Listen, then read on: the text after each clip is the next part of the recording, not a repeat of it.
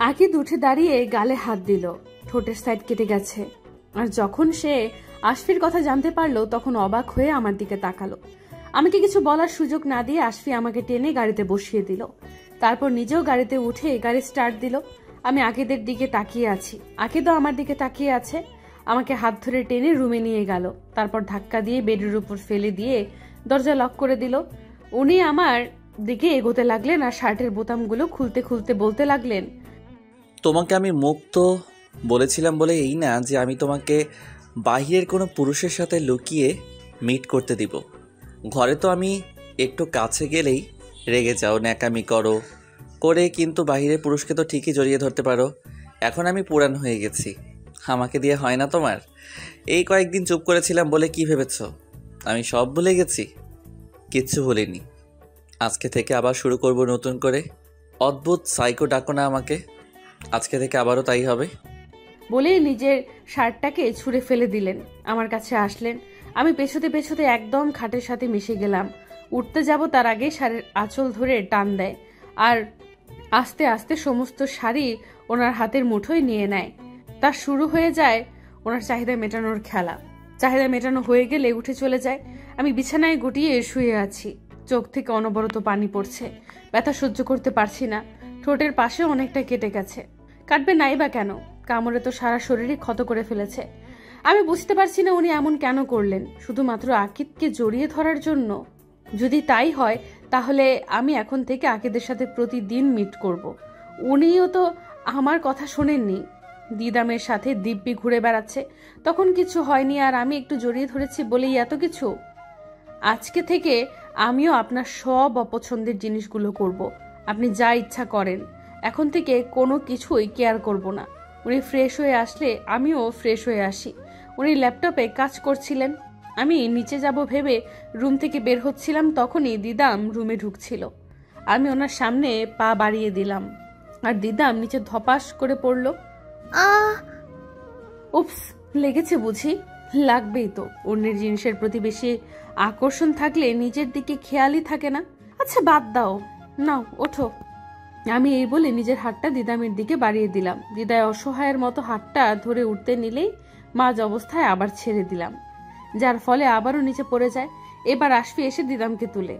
আশফি রেগে আমাকে কিছু বলতে যাবে, তার আগেই আমি নিজের চুলগুলো ওড়িয়ে সেখান থেকে চলে যাই। আমার এমন ব্যবহারে উনি রীতিমতো অবাক হয়ে যায়।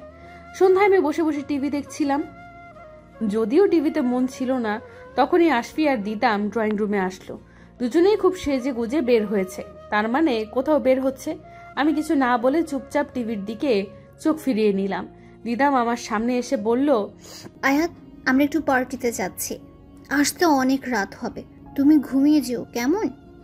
এই বলে দিদাম চলে যেতে নিলে আমি উঠে ওর পথ আটকিয়ে বলি দিদাম এই নাও ঘরের চাবি।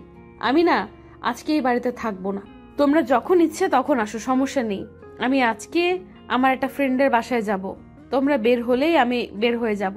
আর হ্যাঁ have a good party mood আমি এই বলে টিভিটা অন করে সোজা উপরে চলে আসলাম। দিদাম হয়তো ভেবেছিল আমি ওদেরকে দেখে জেলাস ফিল করব, কিন্তু না, তেমন কিছুই না। বরং উল্টো জেলাস ফিল করাবো। আমি খুব গর্জিয়াস মেকআপ করে পার্টি লুকে নিচে নামলাম। নিচে নেমে দেখি ওরা এখনও বের হয়নি। আশফির মুখ দেখে বোঝা যাচ্ছে উনি বের হতে চায়নি। আমি ওদের সামনে গিয়ে বললাম আরে তোমরা এখনও বের হওনি? আমি তো এখন বের হয়ে যাব। কোথায় যাচ্ছ তুমি? তাও আবার এসব ড্রেস পরে? আমি না কাউকে কোনো উত্তর দিতে বাধ্য নই। এনিওয়ে বাই এই বলে আমি চলে যেতে নিলেই উনি আমার সামনে এসে চোখ লাল করে বলে আমি তোমার হাজবেন্ড তাই তুমি আমাকে বলতে বাধ্য।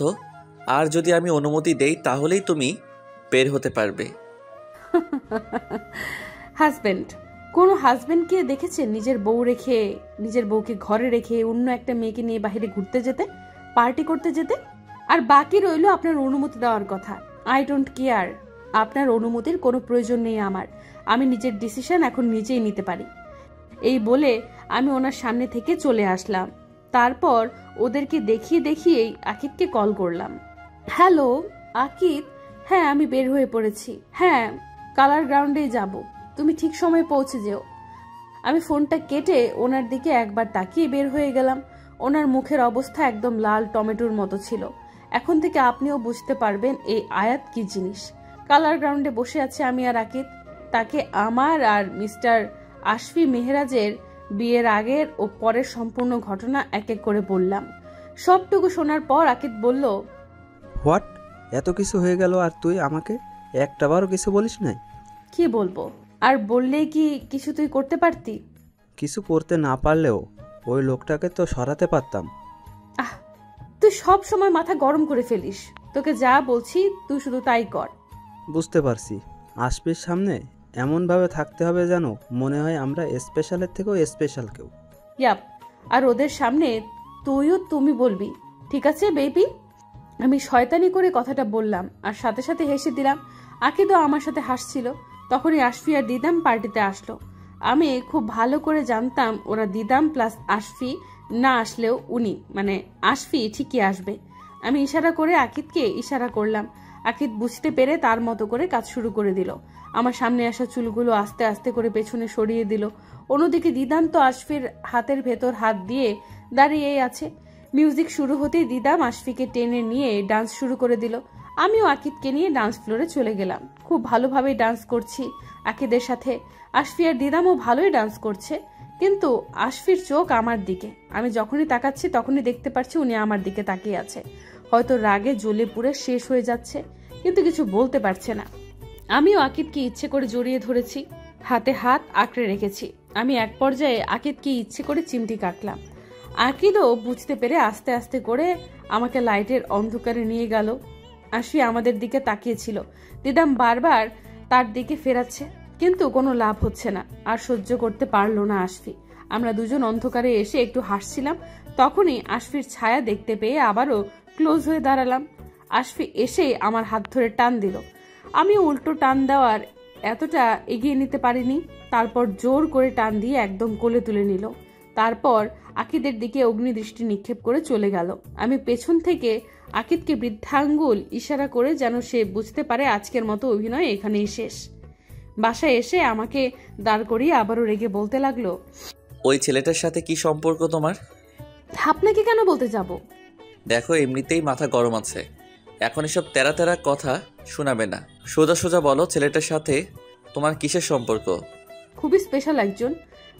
স্পেশাল বললে ভুল হবে। স্পেশালের থেকেও স্পেশাল তা যাই হোক এখন থেকে ওই ছেলের সাথে এত মেলামেশা করতে পারবে না? আপনি বললেই আমি মেনে নেব। এটা কি করে ভাবলেন? আপনি যেটা বলবেন ঠিক সেটার উল্টোটা আমি করব। আপনি যেমন দিদামের সাথে চিপকে থাকেন আমিও ঠিক তেমন করে একেদের সাথে চিপকে থাকব। হো তাহলে তুমি আমাকে জেলাস ফিল করানোর জন্য এসব করছ? মোটেও না আপনাকে জেলাস ফিল করিয়ে আমার কি লাভ? আমি তো আর আপনাকে ভালোবাসি না। কিন্তু আমি তো বাসি। আর আজকের পর থেকে ওর সাথে চিপকে থাকলে তার ফল খুবই খারাপ হবে। উনি এই বলে চলে যেতে নিলে আমি পেছন দিক থেকে ডেকে বলি, মিস্টার আশফি মেহরাজ, আমি এখন আর আপনাকে ভয় পাই না। আর আপনি আমাকে যা খুশি করতে পারেন। I don't care. I know that dear yellow angel, এই জন্য এখন আমি তোমাকে চিপকে থাকতে দেখলে তোমার না বরং আকিদের ক্ষতি করব। আর আমার ক্ষতিটা কত বড় ক্ষতি হতে পারে, তা খুব ভালো করে বুঝতে পারছ। বেশি কিছু বললাম না, শুধু এটাই মাথায় রেখো। উনি আমার কাছে এসে চুলগুলো কানে গুজে দিয়ে কথাগুলো বলে চলে গেল। আমি এখন সত্যি কিছুটা ভয় পেয়ে গেলাম, কারণ আমি চাই না আমার জন্য আকিদের কোনো ক্ষতি হোক। পরের দিন বিকালবেলা আমি আকিদের সাথে ফোনে কথা বলছিলাম। আকিদ তার বাইরে কাটানোর দিনগুলো শেয়ার করছিল। আমার বড্ড হাসি আসছিল তার কথা শুনে, তাই হাসতেছিলাম। তখনই আশফি রুমে আসলো। আমাকে এভাবে হাসতে দেখে একটু অবাক হলো, কারণ আমি ওনার সামনে কখনো এভাবে হাসিনি। আমি ওনাকে দেখে বারান্দায় চলে আসলাম। তো ভালোই ছিল বাহিরের দিনগুলো। আমি পেছন ফিরে তাকিয়ে দেখি উনি আমার একদম পিছে দাঁড়িয়ে আছে। আমাকে খুব শান্তভাবে জিজ্ঞেস করল কার সাথে এত হেসে হেসে কথা বলছো? আপনাকে কেন বলতে যাব? আমি এই বলে সাইড কেটে চলে যেতে নিলে উনি আমার হাত ধরে একদম নিজের সাথে মিশিয়ে নিয়ে বলে আমি তো ভুলে গেছিলাম। তোমার তো এখন স্পেশালের থেকেও স্পেশাল কেউ আছে। তার সাথে কথা বলছো তাই না? হ্যাঁ বলছি তো। উনি আমাকে খুব শান্তভাবে কথাগুলো বলছিল আর পেছন থেকে পিঠে স্লাইড করছিল। আমার রাগে উঠে যাওয়ায় বলেই দিলাম। সাথে সাথে আমার হাত থেকে ফোনটা নিয়ে নিচে আছাড় মারে আর সাথে সাথে ফোনটা ভেঙে গুঁড়ো গুঁড়ো হয়ে যায়। তারপর আমাকে ছেড়ে দিয়ে আমি ফোনটা হাতে নিয়ে বলি, এটা কি করলেন আপনি? আমার ফোনটা ভেঙে দিলেন? জানেন, এই ফোনে আমার কত ইচ্ছে লুকিয়েছিল। আমার নিজের টাকা দিয়ে কেনা প্রথম ফোন ছিল এটা। আর আপনি নিমেষেই গুঁড়ো গুঁড়ো করে দিলেন? আমি কথাগুলো বলেই কান্না করে দিলাম। কারণ, আমাদের মতো ফ্যামিলির প্রতি মাসে মাসে ফোন কেনার টাকা থাকে না। এই টাকাটা আমি টাকা বাঁচিয়ে বাঁচিয়ে কিনেছিলাম। উনি হয়তো আমার কষ্টটা বুঝতে পারছেন না। আর বুঝবেই বা কি করে? উনি তো আর আমার মতো করে বড় হয়নি। উনি চলে গেলেন আর যাওয়ার আগে বলে গেলেন রেডি হয়ে যাও। আজকে তোমাদের সবার জন্য একটা সারপ্রাইজ আছে। কিন্তু ওনার কোনো কথাই আমার কানে গেল না। আমি ফোনটা হাতে নিয়ে কান্না করছি। প্রায় এক ঘণ্টা পর উনি রুমে আসলেন। আমি রেডি না হয়ে বিছানায় ভাঙা ফোনটা নিয়ে বসে আছি। কি ব্যাপার? এখনও রেডি হওনি? একটু পর তো বের হব। আমি আপনার সাথে কোথাও যাব না। আর আজকে আমাকে এত আদিক্ষেতা দেখাতে হবে না। আপনি আপনার দিদামকে নিয়ে যেতে পারেন। খুব কষ্ট লাগছে না? নিজের জিনিসটা চোখের সামনে ভেঙে ফেললাম বলে ঠিক তেমনই কষ্ট আমারও হয়। যখন তুমি আমার ভালোবাসাটাকে অপমান করো গলা টিপে মেরে ফেলো। বাই দা ওয়ে এই শাড়িটা পরে রেডি হয়ে পড়ো। উনি আমার দিকে একটা শপিং ব্যাগ এগিয়ে দিল। আমি ওনার হাত থেকে সেটা নিয়ে দূরে ফেলে দিলাম। আর চিৎকার করে বলতে লাগলাম আপনার কোনো কথা কান দিয়ে যায় না? আমি বলছি তো আমি কোথাও যাব না। তাহলে কেন এত ঢং করছেন? সরে যান আমার চোখের সামনে থেকে। আমাকে একটু একা থাকতে দিন। তুমি যাবা সাথে তোমার সারা শরীর যাবে। এই বলে উনি একটানে আমার শাড়ি খুলে ফেলেন। তারপর আমাকে উপর দিক থেকে ঘুরিয়ে ব্লাউজটা খুলে ফেলে দিলেন। তারপর ব্যাগ থেকে নতুন হলুদ শাড়িটা পেঁচিয়ে দিয়ে কানের কাছে এসে বলল প্লিজ একটু তাড়াতাড়ি করে রেডি হয়ে যাও। আমি নিচে তোমার জন্য অপেক্ষা করছি। উনি এভাবে বলায় আমি আর না করতে পারলাম না। উনি চলে গেলে আমি শাড়িটা পরে নিলাম। ব্যাগটা হাতে নিয়ে দেখি তার সাথে কতগুলো চুড়ি আর একজোড়া ঝুমকোও আছে। আমি ওগুলো পরে নিচে এসে দেখি উনি সোফায় বসে ফোন টিপছে। আমাকে নিচে নামতে দেখে উনি দাঁড়িয়ে অবাক হয়ে তাকিয়ে আছেন। আমি ওনার সামনে দাঁড়ালে উনি বলেন হলুদ পরি আজকে তোমাকে দেখে আবারও নতুন করে প্রেমে পড়তে মন চাচ্ছে। আজকে আবারও ঠিক তেমনি অনুভব হচ্ছে যেমন হয়েছিল প্রথম দেখার পর। তারপর উনি আমার সামনে হাঁটু গেড়ে হাত বাড়িয়ে দিয়ে বললেন আই লাভ ইউ হলুদ পরি। জানি তোমার উত্তর হয়তো এখনও পাল্টায়নি। আমাকে হয়তো এখনও একইভাবে ঘৃণাই করে আছো। কিন্তু তোমার কাছে আমার একটা চাওয়াই। এভাবে ঘৃণা করে থাকলেও চলবে, শুধু আমাকে ছেড়ে যাবে না। কখনো জোরও করব না ভালোবাসতে। বলো আমাকে। আমি কি বলব বুঝতে পারছি না। আমি শুধু একটা কথাই বললাম। এসব নাটক আমার ভালো লাগছে না। যদি কোথাও যাবার হয়, তাহলে চলুন, নয়তো আমি রুমে চলে যাচ্ছি। আমার কথা শোনার পর ওনার মুখটা একদম শুকনো হয়ে গিয়েছিল।